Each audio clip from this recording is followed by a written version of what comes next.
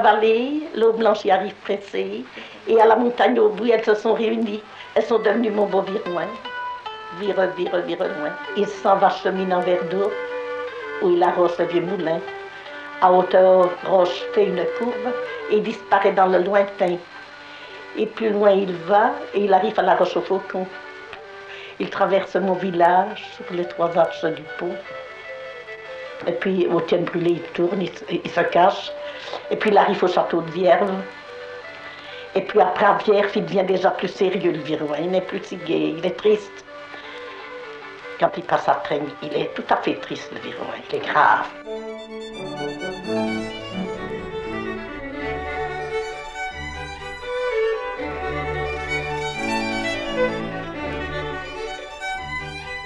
La plus riche commune de la province de Namur, c'était Serfontaine, puis c'était Traigne. Traigne était plus riche que Nîmes. Nous ne sommes pas dans un véritable pays de culture. hein. Ce n'est pas comme dans le Brabant, hein, ici. Ah oui, hein, on avait les foins, les céréales, les betteraves, les pommes de terre. Oh, les vaches à lait, 5, 6, et puis deux, trois jeunes bêtes, là. Chaque famille avait droit à son essart. À Traigne, ce sont des essarts. Et la même surface de terrain, à Vierge, ce sont des scieries. Eh bien, voyez-vous, chaque famille avait droit à un essart de sciure,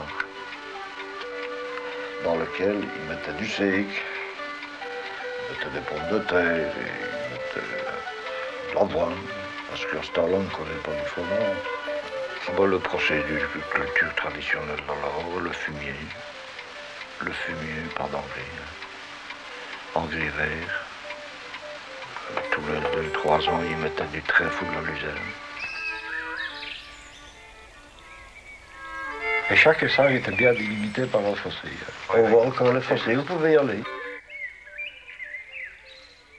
Sur les 94 hectares d'essarts que les gens de la commune cultivaient, savez-vous bien combien il en reste Cultivés? 4 hectares. Le reste, ce sont des buissons. Je me souviens les premiers Brabants, donc les charrues doubles, euh, dites Brabant, donc, hein, à deux socs qu'on retournait.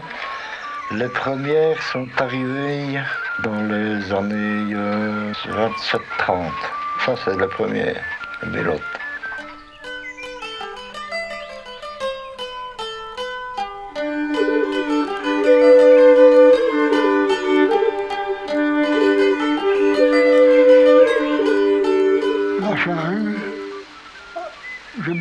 Encore, j'aimais bien ma charrue. Quand j'ai supprimé la charrue, j'ai fait faire un binoir, un binoir pour buter les pommes de terre. C'était la règle à ce temps-là. hein. Si, le maréchal vous fournissait, euh, était intermédiaire pour la fourniture d'un- outil quelconque, c'est lui qui en avait l'entretien. Ça, c'était- classique, ça. Il n'y en avait pas tellement, d'ailleurs. Il y en avait un en Montagne pour toute la région ici. Pour rebattre les lames de Brabant, rebattre, rebattre les coudes, rebattre les, les petits versoirs, les petits chiens.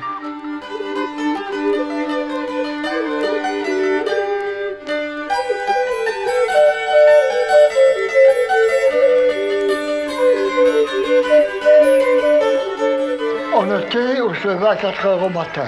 Eh ben, on trayait les vaches. Et quand c'était comme maintenant les foins, j'allais faucher. Elle allait en campagne.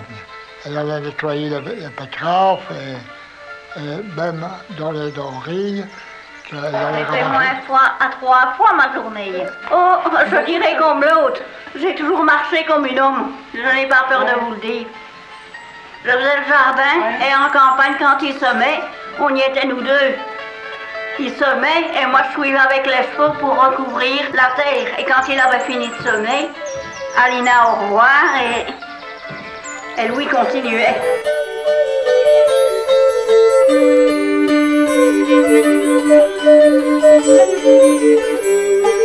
Il a tourné jusqu'en 22. Et à 40, il a repris, il a encore voulu toute la guerre de 40 à 45. Il y a trois meules. Enfin, il y en avait deux qui, qui, qui, qui à la mouture. Il y avait la meule à froment, il y avait la meule à sec, et la troisième meule, elle servait à décortiquer les potes. Un nettoyeur qui existe encore. On repassait tous les grains des potes dans le divin nettoyeur pour enlever les dernières poussières avant de les faire passer dans la meule pour les panifier. C'était un travail.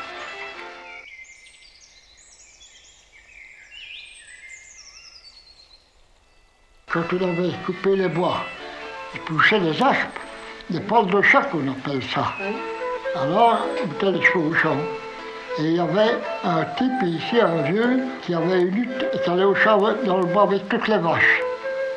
Puis ça a été interdit. Vers 1909-1910. On avait sa part de bois, hein. À ce moment, comme il y en a toujours, hein, vous allez tirer votre numéro à la commune. Et à- de nos temps, ça coûtait 12 francs 50 la part de bois.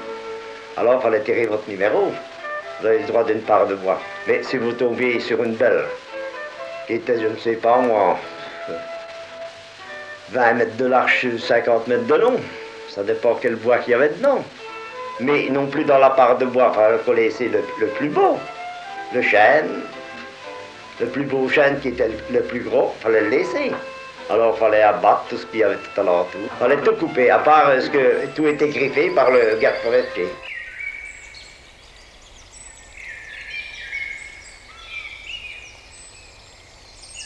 Le tailleur de bois qui taillait les, les futails, les chênes, les gros chênes, les bûcherons. Mon Dieu, ça c'était un métier. Ils couchaient dans des huttes pour ne pas faire les chemins. En général, quand c'était un arbre de 3 ou 4 mètres cubes, ils se mettaient à 3 et ils tapaient en cadence. Pam, pam, pam, pam. Il leur fallait certainement taper pendant une heure et demie. Quand ils arrivaient au cœur, il n'y avait plus que des petits morceaux qui foutaient le camp. Mais maintenant, avec la réserve qu'ils ont fait, il doit y avoir des chaînes de 8, 9, 10 mètres cubes. Le gros bois, ça c'est la plus belle réserve de futailles de la région. À ce moment-là, c'était principalement le bois de mine. Le bois de charpente ou le, charbon de bois? Bah, le petit bois, il y avait le bois de chauffage. Il y avait des équipes pour faire le charbon. Et, et nous autres, c'était principalement le bois de mine. On abattait et on, on habitait en bois de mine. Quoi. On avait des outils spéciaux pour, euh, pour fendre l'écorce hein, de l'arbre. Puis on prenait environ 1m80 à 2 mètres de haut. Et avec ça, on la mettait sur des, des qu'on disait pour, pour la faire sécher. Et à la période convenue avec le, marchand, donc, euh, eh ben, il venait et on liait ça en fagot pour euh, pouvoir transporter euh, la tannerie. hein. Transporteurs de grumes en forêt avec des chevaux. Ils avaient toujours en général une vingtaine de chevaux. Mais en général, euh, c'était trois et quatre chevaux qui étaient attelés au chariot, sur lequel on chargeait en moyenne euh, un mètre cube de bois vert ou sèche, ça dépendait. Tantôt à la gare de Vierge, tantôt à la Syrie à Mariembourg. Tantôt à la Syrie, on dit tout dépendait de des essences et de- du bois qui était demandé par les scieries et les sabotiers. Le sabotier, je l'ai vu fabriquer des sabots, hein. Oui, ça. Il faisait ses sabots lui-même, à la main. Il coupait ses morceaux de, de bouleau.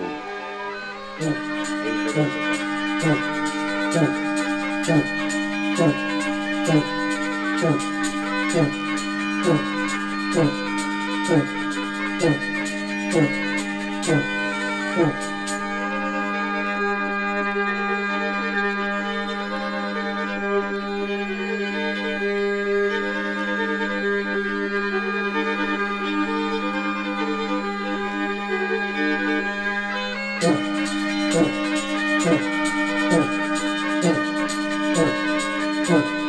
faisait- C'est une des plus belles choses de Belgique. hein. C'est pas la plus belle. En gibier sauvage. En chevreuil, c'est peut-être la plus renommée. hein. Oui. Chevreuil, c'est. Ici, ici à Nîmes, Oui, Chevreuil, ben, ça dépend des bois, mais euh, comme du côté de Martignol, là, et Martignol tous les ans, et vous êtes certain qu'il y a trois quatre blaireaux pour ce coin-là. Il y a certainement un couple tous les ans qui fait ses, ses petits. Oh, le renard ne diminue pas, hein. le contraire. Ouh, aïe, aïe. Le renard, il augmente par ici.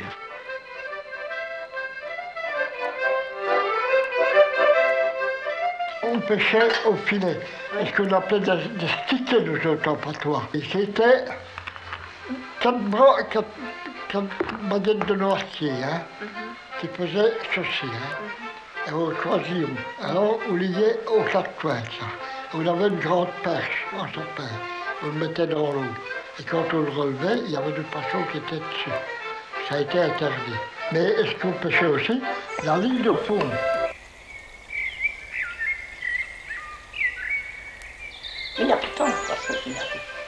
Dans le temps, quand il y avait de l'orage, n'est-ce pas, monsieur? Eh bien, nous a- on allait au bi, le bi, le biais de, de. Et on allait attraper les anguilles. Et nous allions attraper des truites à la fourchette. Il faut le faire, ça, hein, monsieur? Ça devient une catastrophe pour la pêche. Il y a encore 10-12 ans, le cheval, il y en avait des, des mille, des mille, des mille. Maintenant, il n'y en, a plus. On peut de temps en temps, hein, mais Le verron, le petit, c'est le même. Le blanc poisson, il disparaît Tout, ben, dans l'île. disparaît? Moi, j'appelle un pêcheur un pêcheur sportif qui, qui, qui se bat pour avoir une truite hein, pendant deux heures, par exemple. Dans, entre les branches et tout ça, pour arriver à lancer pour, pour l'avoir. Ça, ça c'est- la pêche. Mais à l'heure actuelle, vous avez un grand nombre de pêcheurs qui viennent le lendemain du déversement pour retirer la truite une après l'autre. La bonne truite ici, c'est la faillot.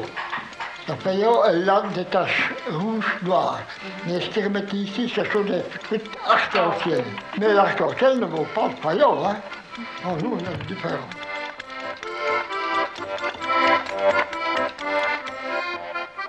C'est vendu pour 2000 à 2000 d'antiquité ici.